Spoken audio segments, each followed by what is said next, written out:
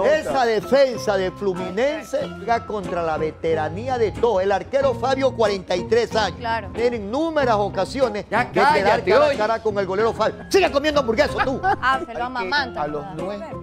Es que es bebé, a esa edad se lo amamanta. ¡Qué rico! Bebé, chiquito.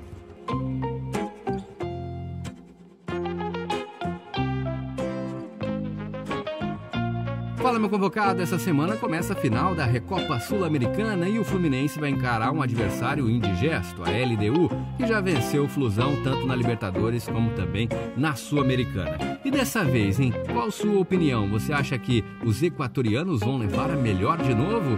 Hoje no Seleção do Mundo vamos ver um debate bem diferente, assim, de um programa esportivo muito interessante, o Los Humildes, lá do Equador. Deixe aí seu comentário e bora ver. Anota. Esa defensa de Fluminense, la de Fluminense, con todo el respeto para los artilleros y para el juego colectivo de liga, juega contra la veteranía de todo. El arquero Fabio, 43 años. Claro. 43. Eh, eh, eh, Melo como 41 años. Samuel Javier como 36 años. El Marcelo, 40, eh, Marcelo tiene 37 años. Y Antonio Carlos tiene 31. Promedio de edad facilito 37, 38. Por mucho que el partido sea en horas de la noche, altura es altura. Más como dice el abogado, Liga no es un equipo avión por lo que corre, sino por la soltura con que tiene ya los huecos y los nichos de sus jugadores desequilibrantes para que la pelota esté en los lugares perfectos, en los jugadores indicados, que seguramente le va a permitir a Michael Estrada tener en númeras ocasiones Ya de quedar cállate, cara a cara con el golero Fabio. Sigue comiendo hamburguesa tú. Habría, habría que A ver. ver, eh, un ratito, tenga la bondad china, que usted está que le- lo mata Estrada y lo que dice Guachito es verdad. Estrada es doble amenaza. Y en el fútbol nuestro nos acostumbró esto. ¿Por qué va a jugar en nuestro fútbol? Va a jugar en la Premier, va a jugar acá.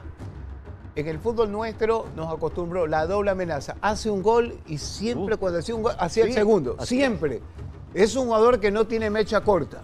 Se presta para liga. Y, y es veloz, de contraataque es veloz. Si es un Estrada de 34 años, 33 años, decíamos, no, no es para liga porque no es el mismo. A los 27 años uno pff, Claro. está en el mejor momento de su vida, a los 27 Es un años. bebito, pues, es un es, bebé. es un jugador que a los nuestros... se lo que- amamanta, A los. ¿Cómo? Es que es bebé, a esa edad se lo amamanta. ¡Qué rico! Bebé, chiquito.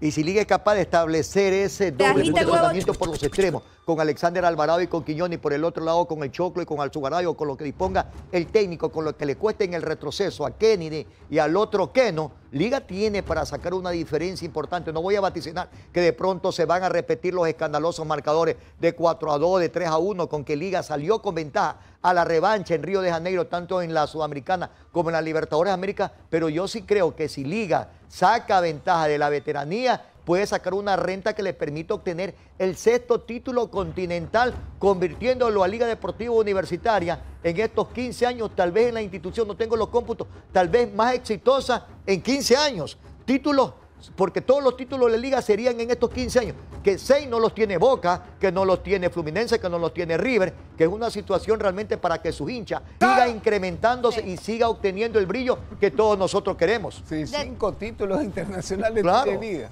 Cinco títulos internacionales. Bueno, mi Fluminense querido- también mejoró bastante en esta temporada con cinco refuerzos. Está Antonio Carlos que va a salir de titular. Y, y para la emergencia, ellos tienen a Douglas Costa, el muy publicitado buenos selección brasileña. Tienen a Pires, tienen a Renato Augusto, que estaba en Europa, que lo repatrió el Corinthians y que ahora lo contrató el cuadro del Fluminense. Y subieron ya a primera categoría al preferido del abogado en el torneo sub-20. El chiquito. A Cago Elías, Ajá. el delantero de 17 años, que puede ser una opción de refresco en el momento en que se agoten los recursos de los veteranos que tiene el equipo de Fernando Diniz, el estratega del campeón Bueno, brasileño.